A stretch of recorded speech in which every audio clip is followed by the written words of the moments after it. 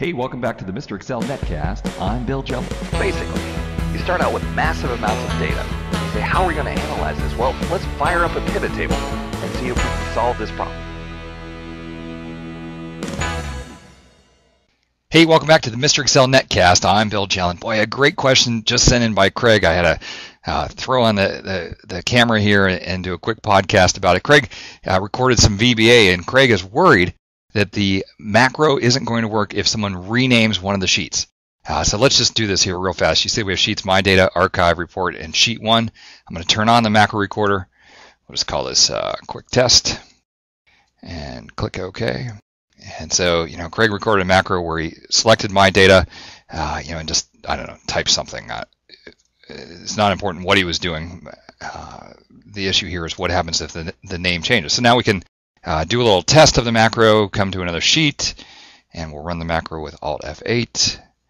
Quick test, run, works great. Okay, but what would happen if someone comes along and just renames this to be data? Uh-oh, well now we're going to have some trouble because when we run that macro, it's going to give us 1004 error. It's going to say, hey, that subscript, oh no, a, a 9 error, runtime 9 error, subscript out of range because you know, it's saying, hey, go activate the My Data worksheet, and it doesn't exist.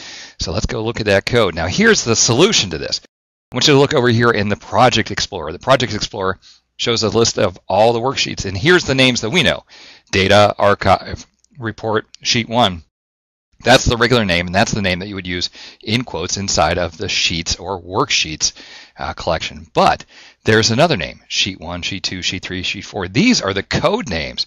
And the beautiful thing is Microsoft assigns these code names and they will never change no matter what happens out in the Excel user interface. So someone renames the worksheet, this is always going to be called sheet one.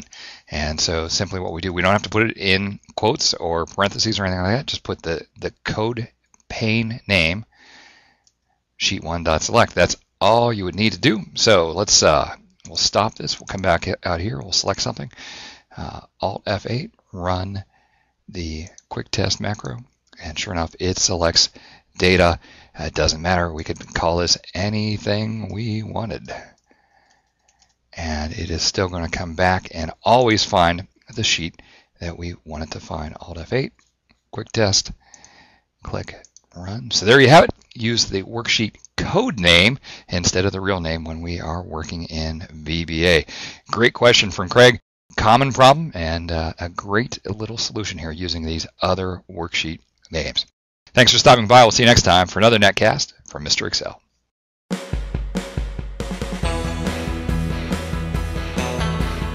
thanks for stopping by. We'll see you next time for another netcast from Mr. Excel.